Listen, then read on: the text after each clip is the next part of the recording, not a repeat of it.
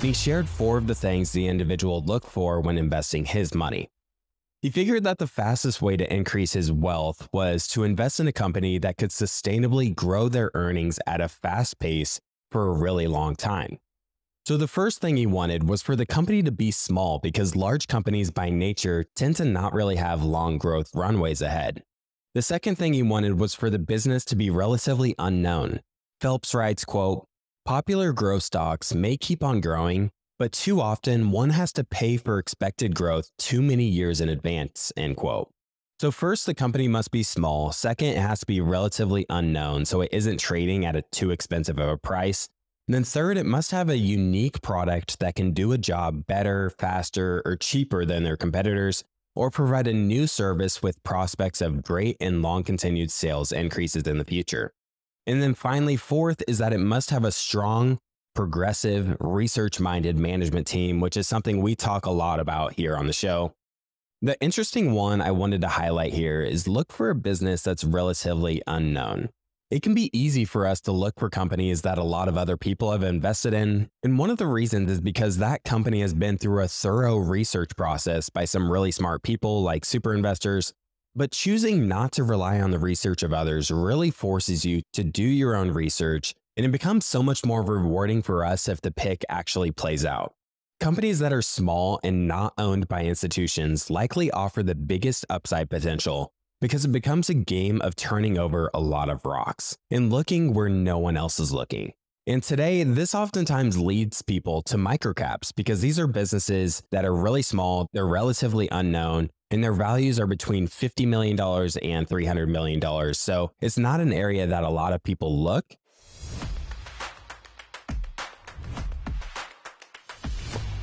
One of Phelps' biggest takeaways from studying this investor that did really well was that he bought right and he held on. He wasn't trying to trade in and out of different things and he wasn't incurring unnecessary friction in his portfolio, such as capital gains taxes and trading costs and commissions and the spreads you have to pay on buying and selling. There are two other lessons he shared related to buying right and holding on. And the first is that you should stay with your most successful stock investments as long as the companies are continuing to increase their earnings. It reminds me of Stig's recent episode with Mohnish Pabrai, where Mohnish said that if you buy a high quality compounder, you should hang on to it when it becomes fully priced and still hang on to it when it becomes overpriced. The reason for this is because there are very few companies that are able to compound at high rates for a really long time. So if you were to sell a really big winner, you're taking the chance that wherever you reallocate that money will be put into something that will do even better than the high quality company you already owned. And then you have to take into consideration capital gains taxes, which is a really high bar. The second lesson Phelps had is to be weary of people who tell you to take money off the table because oftentimes their interests are counter to your interests. For example, a stockbroker makes money when you continually trade in and out of positions. Phelps says, Who is talking often means more than what is said.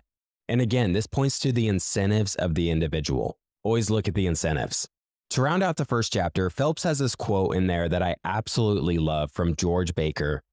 To make money in stocks, you have to have the vision to see them, the courage to buy them, and the patience to hold them. Patience is the rarest of the three, end quote. He has another excerpt here later in the book that I thought fit really well in here. I quote, I don't know which is harder, buying right or knowing enough to hold on. Mathematically, if you just stick pins into the quotation page, you have not one chance in a hundred of hitting a stock that will give you a hundredfold appreciation, even if the future is as good as the past, which is no certainty. And after you have bought your stock, some of the best brains in Wall Street will be trying to persuade you to sell it and buy something else. Lots of times they'll be right, at least for the short term. Every time they're right, it will make it harder for you to heed their advice the next time. And the next time, they may be advising you to sell your 100 to 1 stock after it has gone from 1 to 2, end quote.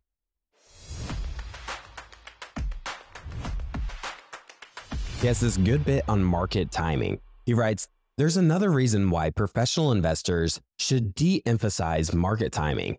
That is because even if the market forecaster is right, he seldom can persuade others to act on his opinion.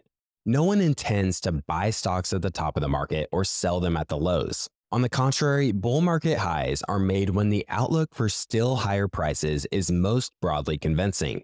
Conversely, bear market lows are made when the likelihood of still lower prices seems overwhelming to the preponderance of reasonable, well informed investors.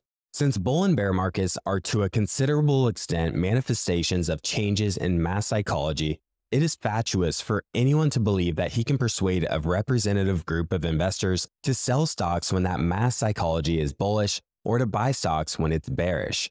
The wise professional who understands this concentrates on stock selection. Most investors are far less emotionally involved in deciding whether the market is going up or down. To clinch the argument, it is readily demonstrable that far more money can be made by good stock selection than by good stock market timing, end quote. There's one more quote a little bit later about market timing that I wanted to share here as well because I just think it's such a good point. Some will argue that good market timing plus good selection is better than either alone. Bear market smoke gets into one's eyes and blinds him to buying opportunities if he's too intent on market timing. And the more successful one is at market timing, the greater the temptation to rely on it and thus miss the much greater opportunities in buying right and holding on, end quote. Now, when you're buying a company that's increasing their earnings year after year and thus increasing their intrinsic value year after year, Oftentimes, these great companies will be continuing to hit new all time highs. So even if the multiple contracts from, say, a multiple of 30 to a multiple of 25, you still may be purchasing a stock at a higher price because the earnings of the company have increased to make up for the difference. Phelps discusses mistakes that are made by professional investors that prevent them from buying and holding big winners. He argues that the answer in why professional investors don't succeed in this strategy is found in investor psychology and statistics. He says few investors, private or professional, seek the big game. They focus on chances to make 5 points here and 10 points there. Then he later writes, for the individual or institution really out to make a fortune in the stock market, it can be argued that every sale is a confession of error. Let this not be construed as advocating hanging on to everything willy nilly. The only thing worse than making an investment mistake is refusing to admit it and correct it. Usually, the faster an error is rectified, the less it costs. But it's still an error, a lost opportunity compared with the buying right and holding on. In a bull market, correcting mistakes often means taking profits, but when we do so, let us not kid ourselves when we're making money. The truth is, we are acknowledging missing vastly bigger opportunities and incurring a capital gains tax liability along the way. End quote. He then explains the difficulty investors have with rising and falling stock prices. People naturally assume that a rising stock price correlates with a good investment and a falling stock price correlates with a bad investment. But sometimes great companies see their stocks fall and bad companies see their stocks rise. The second fallacy he highlights is that investors tend to overemphasize the risks of being in stocks and underestimate the cost of not buying in or sitting on the sidelines or selling a stock too early. Even today, after the incredible bull market we've seen, there are countless examples of people who sold a great company too soon, only to watch the stock price continue to increase after they sold. Phelps says that selling too soon can be frightfully expensive. He points out that if a stock manages the compound at 20% per year, then it takes 25 years to take $1 and turn it into $100 or reach 100 bagger status. During this 25 year period, if you happen to sell in year 20, then you get less than 40 to 1 on your money, and the remaining $60 that you missed out on happens in the last five years. He then expands on that and says that you shouldn't sell an investment for a non investment reason. A few examples he shows of this being the case is selling just because you believe the stock price is high, selling just because you have a profit, the stock price is no longer moving like other stocks are, or something that is going on in the news headlines. Now, one of the biggest troubles with finding high quality compounders is that they're often trading at pretty high valuations, and this is what keeps people from getting into them. Of course, you don't want to completely ignore valuation, as paying a ridiculously high price can definitely get investors in trouble. But Phelps recommends when you find a company that offers a really attractive prospects and is at a fair valuation to enter a position, and be ready to buy more if it happens to trade at a lower price in the future. His reasoning is that you want to focus on the long term business fundamentals, and whether the stock is at a PE of 15, 25, or 35, it really doesn't matter too much when you look out 10 or 20 plus years, because over the long run, the returns of the stock tend to approach the returns of the underlying business as long as you aren't paying a ridiculously high PE, like, say, a PE of 100. Another common error that Phelps warns against is doing substantial research on a company and not allocating enough capital for it to really make a difference if it does play out as you'd expect. Hey everyone, it's Clay Fink here. Are you looking for an investment opportunity in a $2 trillion market? Look no further than Atakama, the cybersecurity industry's latest game changer. Atakama has opened its doors to US accredited and international investors alike, already attracting over 5,000 investors and $6.5 million in capital. Atakama's recurring revenue model saw 10x revenue expansion in 2022 alone. They have patented technology and large contracts secured, including one with the US Department of Defense. This is a limited time opportunity to get in on the ground floor of a rapidly growing cybersecurity startup. To learn more, simply visit invest.atakama.com slash WSB. That is invest.atakama.com a-T-A-K-A-M-A dot com slash W-S-B. Full disclosure, I have personally invested in Atakama's equity crowdfunding round at a $29 million valuation. Please keep in mind that investments in early stage companies do contain risk. As with any investment, crowdfunding investments do offer attractive potential upside, but they cannot offer any guarantees of a future return.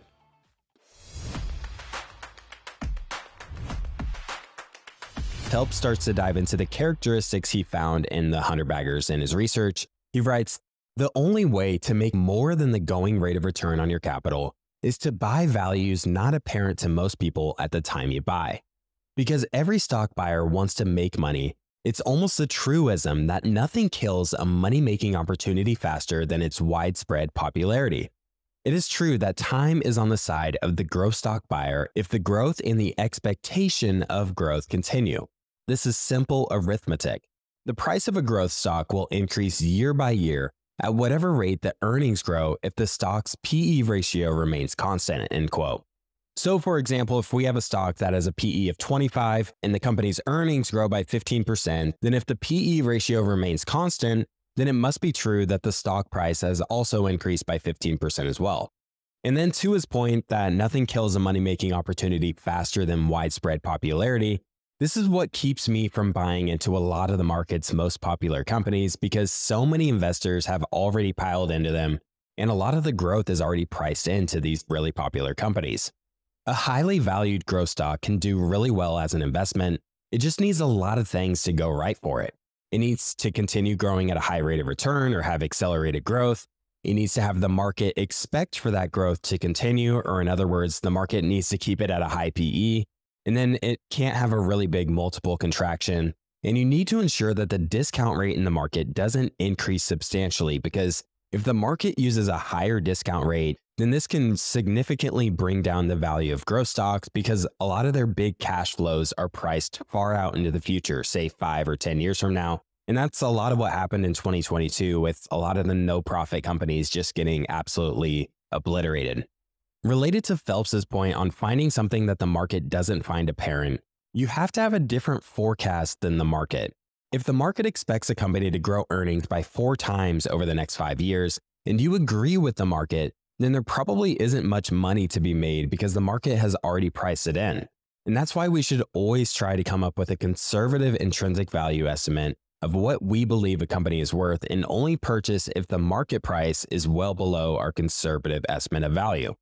Phelps writes, to win in the stock market, as in checkers, one must think at least one move further ahead than the other fellow, end quote. In a perfect world, you would ideally have what Chris Mayer referenced in his book, The Twin Engines of Growth, a stock that increases its earnings by 40 times and its PE multiple increased by two and a half times, then that gives you a 100 bagger. For example, say the earnings per share go from $1 per share to $40 per share, and then you have a PE multiple that starts at 15 and then it goes to around 37.5. So definitely a low multiple is preferred when purchasing these compounders, but it certainly isn't a requirement. Multiples can also give you a good sense of the sentiment around a company. Low multiples are typically associated with poor sentiment, so you should be mindful that if you pay a higher multiple, the business's earnings can continue to increase, but the multiple might fall or it might normalize. And also, if you're paying a higher multiple, you can't purchase it speculating that the multiple will continue to expand. So, buying something on the cheaper end definitely can give you a larger margin of safety because you're not only benefiting from the earnings going up, but you're also potentially benefiting from multiple expansion.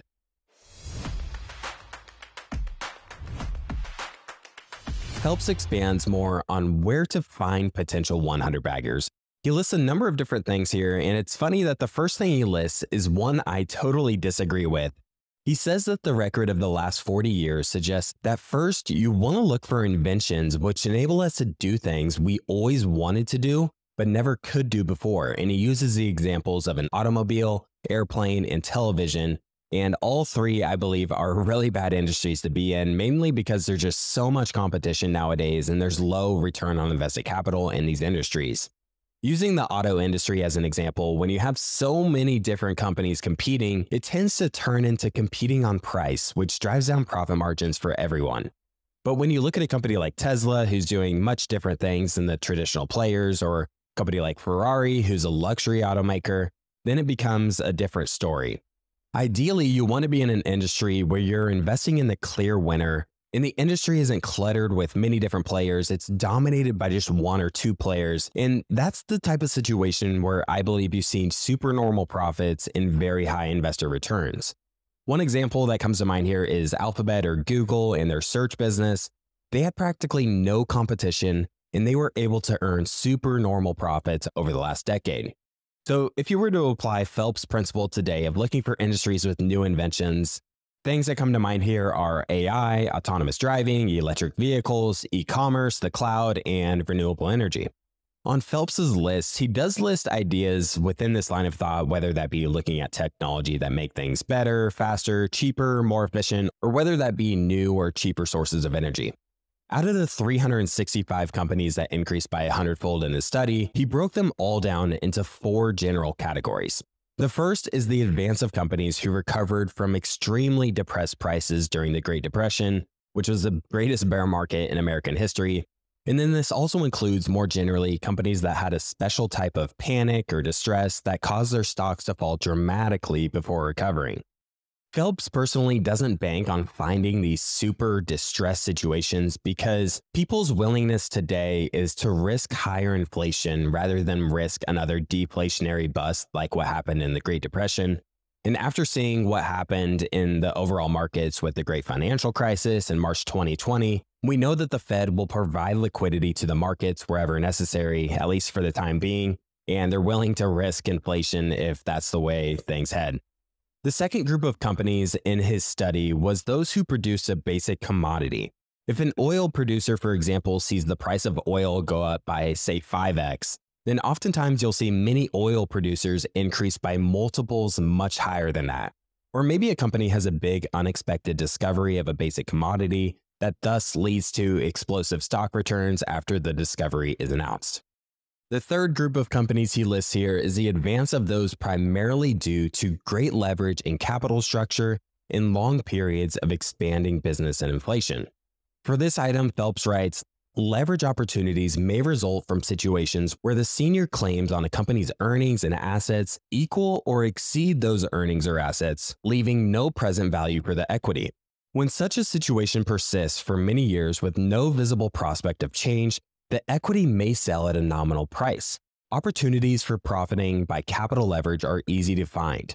What is hard is deciding whether the added profit potential outweighs the added risk, end quote. And then the fourth and the final one is where the fun stuff is, in my opinion, and that is the growth of companies who reinvested their earnings at substantially higher than average rates of return on their capital.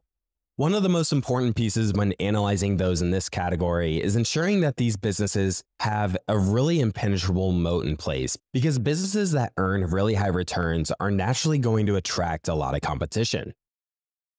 It's kind of a new way of me looking at things is uh, what I call the circle the wagons approach to investing.